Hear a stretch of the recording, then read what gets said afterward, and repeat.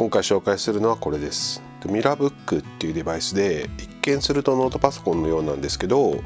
これに搭載されてるのはディスプレイとキーボードとタッチパッドだけで CPU とメモリーストレージはスマホのものを使うっていう風なデバイスです。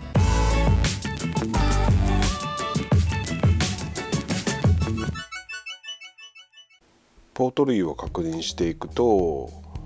左から HDMI 出力タイプ A の入力これ多分専用スタンドを止める穴だと思いますね。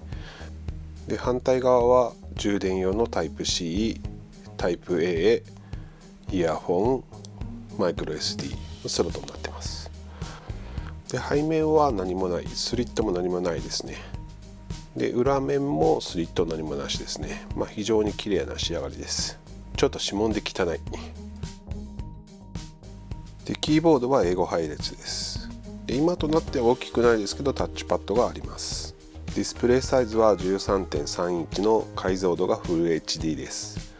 で本体サイズは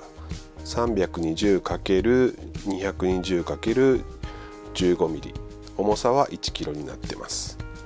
スマホとの接続はこの USB-C ケーブルがポイントになってます。これね本体に一応内蔵されてる USB-C ケーブルを、えー、スマホと接続することでミラブックが使えるようになります。どんなスマートフォンでも接続できるわけではなくてサムスンだったら Galaxy S シリーズでファーウェイだったら EMUI デスクトップが使えるスマートフォンが対象になります。あと USB-C から映像が出力できるスマートフォンとかも、えー、接続はできるんですけどこれだと画面のミラーリングになります。でこれ実際に Galaxy Fold と接続しているところなんですけど接続すると DEX モードが起動して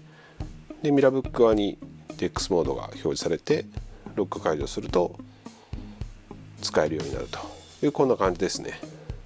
アルミケースの質感は非常に高くて MacBook と比較してももうそんなに遜色ない感じ。まあ、ちょっとサイズ的にはこれディスプレイが大きいんで MacBook よりは大きいですけどね。横に並べても別にチャチいなっていう感じは一切ないですよね。これね本当に質感は高いんですよね。よくできた筐体です。ミラーブック使うと何が嬉しいかっていうと例えばディスプレイ、えキーボードマウスがこれ一体になっててでミラーブックのバッテリーで動くんですよね。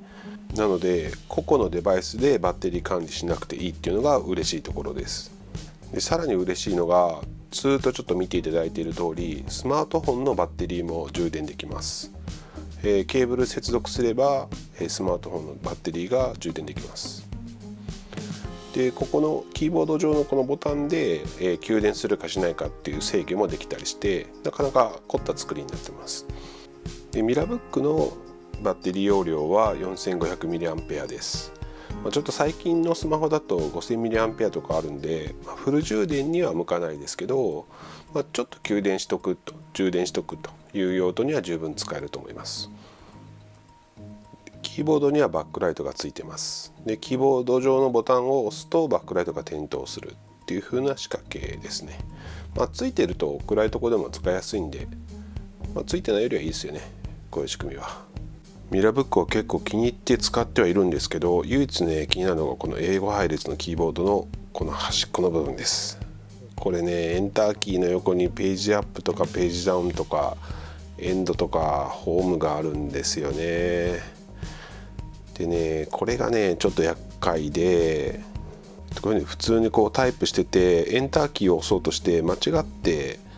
ページダウンとか押してしまうことがあるんですよね。まあエンドをしちゃうこともあるかな、まあ、シフトを押そうとして間違ってエンドを押すってこともあるんですね。これ慣れかもしれないけどこれ結構苦手だな。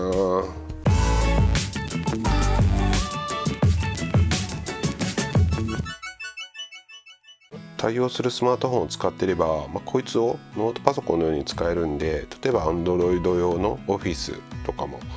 使えるようになりますし、まあ、当然ねメールとか打つのも楽になります、まあ、ノートパソコンでもいいんですけどテレワーク用の端末としてこのミラブックと、えー、手持ちの携帯の活用っていうのを考えているのもいいかもしれないです。最後、えーとね、私が使ってるケースを紹介しておきます。リヒトラブのバックインバック A4 縦っていうケースです。でねミラーブックこの USB-C のケーブルがねちょっと飛び出てるんですよねこういう風にして。で一緒に持てるのがいいんですけどちょっとねケースに入れる時は注意が必要でちょっとこれをうまく避けて入れれるケースっていうのを選ぶ必要があります。でこのケースはね幸いなことにちょっと余裕があってさっきの USB-C ケーブルを避けられるんですよね。でこういう風にしてこうしまっ